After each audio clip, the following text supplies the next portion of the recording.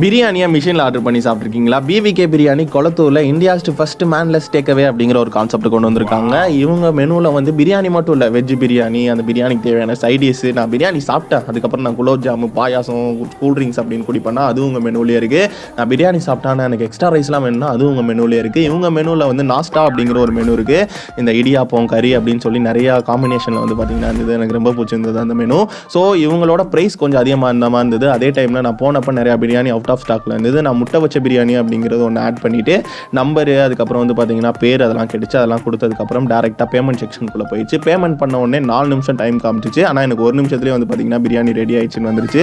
So door open பண்ணி அந்த பிரியாணி எடுக்கும்போது பிவி கேக்குனே ஒரு பேக்கிங் இருக்கும்ல அந்த பேக்கிங்கில் தான் நம்மளுக்கு கொடுத்தாங்க. பிரியாணி சாப்பிட்டு பார்க்கும்போது கொஞ்சம் டேஸ்ட் வைஸில் பிலோ அவரேஜாக இருந்தது.